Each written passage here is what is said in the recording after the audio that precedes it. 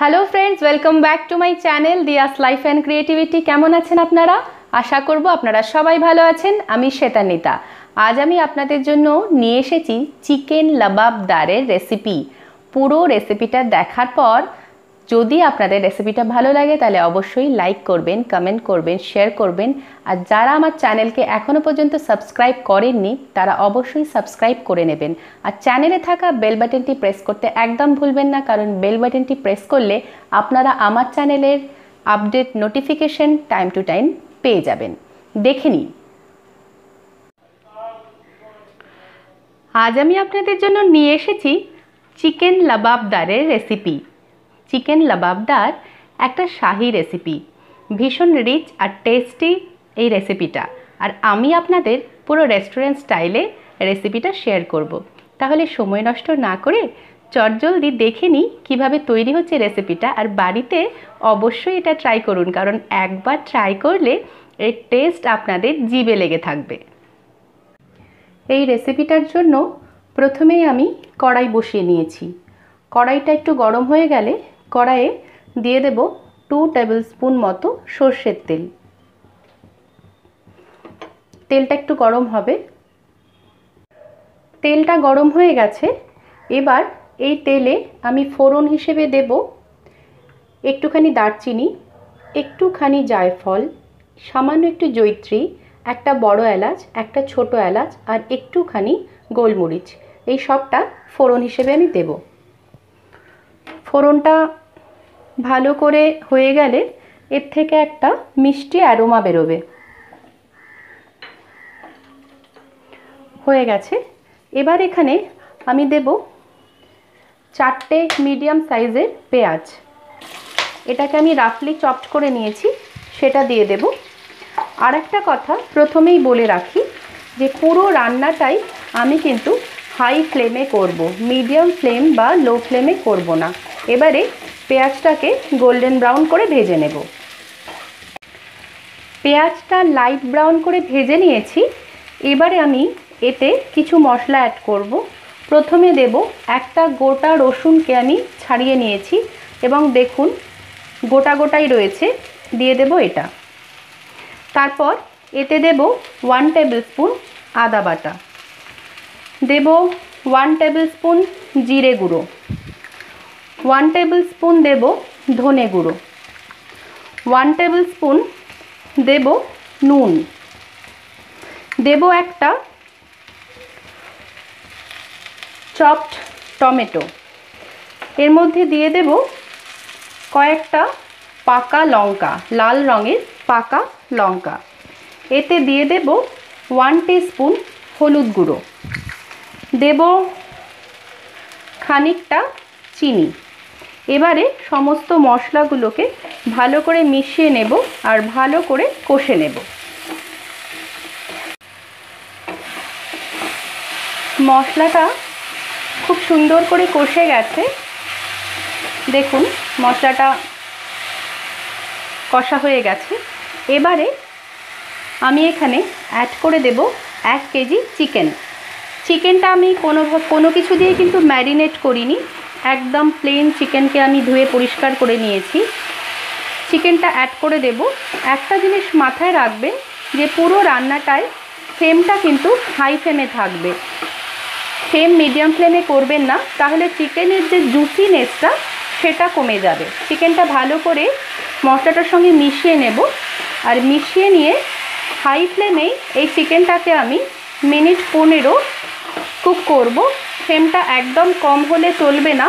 আর পনেরো মিনিট মতন এটাকে আমি কোনো কিছু করব না। চিকেনের থেকে যেই জলটা বেরোবে, সেই জলেই চিকেনটা রান্না হবে। এবার আমি এটাকে ঢাকা দিয়ে পনেরো মিনিট মতন ছেড়ে দেব।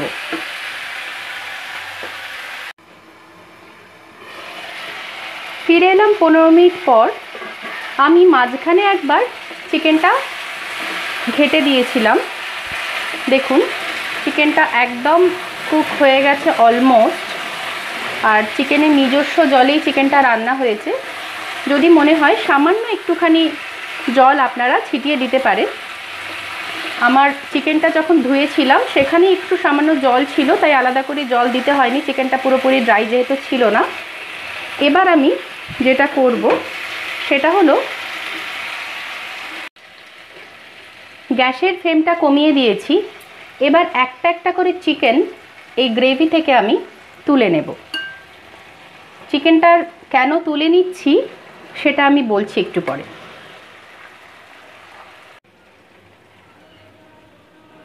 সমস্ত চিকেনগুলো আমি একটা পাত্রে তুলে নিলাম। এবারে এই যে গ্রেভিটা রয়েছে, সেই গ্রেভিটাকে আমি ঠান্ডা করে নেব।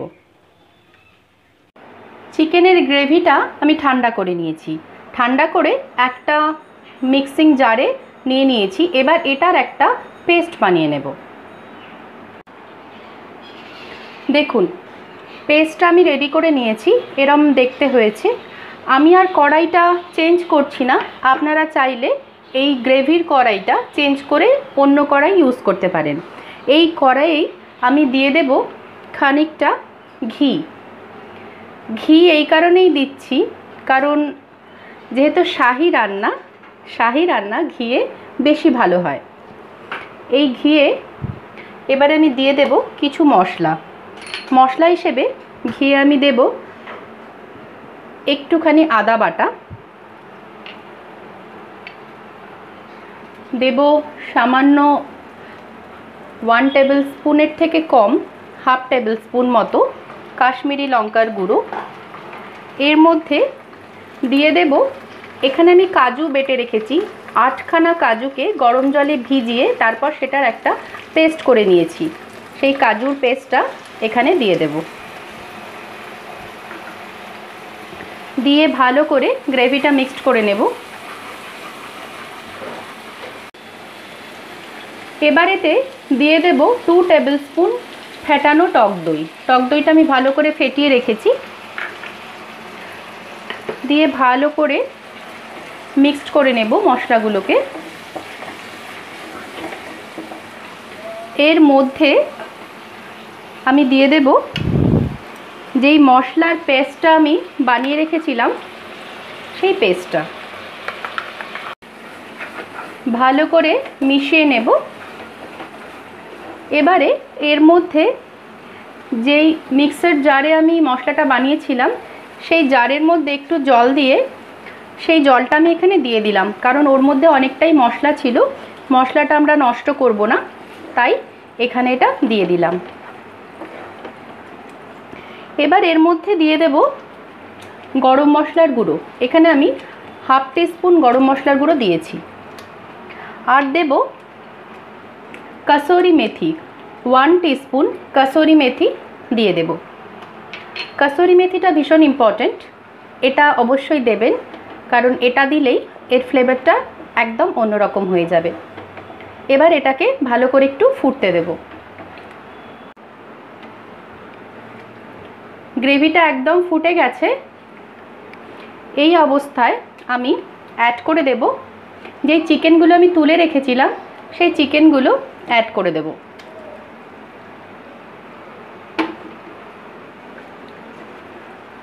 খুব ভালো করে মিশিয়ে নেব।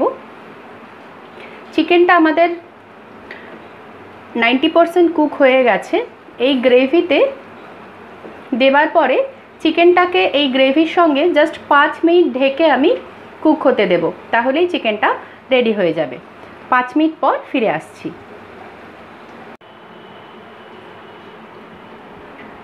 আমাদের রান্না একদম রেডি। দেখুন, চিকেনগুলো পুরো সেদ্ধ হয়ে গেছে।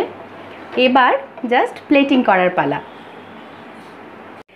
চিকেন লবাবদার একদম রেডি টু সার্ভ বাড়িতে চটপট বানিয়ে ফেলুন আর আমাকে কমেন্ট সেকশনে জানান যে আপনাদের আমার এই রেসিপিটি কেমন লাগল।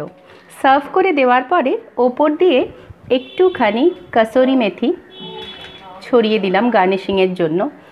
আর এর টেস্টটা আর একটু বাড়াতে ওপর দিয়ে দিয়ে দিচ্ছি খানিকটা বাটার এটা সম্পূর্ণ অপশনাল তবে এর স্বাদ কিন্তু এই বাটারটা আরও বানিয়ে দেবে। তাহলে আজকের মতন এতটুকুই, খুব শীঘ্রই দেখা হচ্ছে অন্য কোনো দিন, অন্য কোনো ভিডিওর সাথে। ততদিন ভালো থাকবেন।